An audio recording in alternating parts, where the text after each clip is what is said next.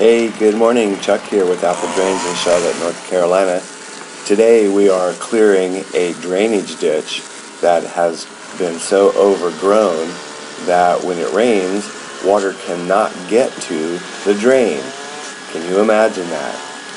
So we've had to take and rent a bush hog from Home Depot Tool Rental. There's a plug for Home Depot.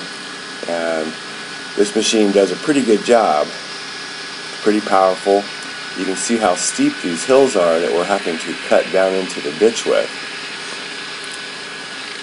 Here we've got uh, the tool rental machine. They call it the Outback. We call it the Bush Hog. And it does a really great job of cutting grass and even pretty large debris, especially on the flat ground. Now it rained the day before and actually where Chuck's walking there, it's just underwater. Um, here you can see how easily it cuts this grass that's been growing at the bottom of the ditch. And we've had to use the weed eater to help cut some of the other debris that's just so thick. It's basically vines and ivy that the machine really can't cut.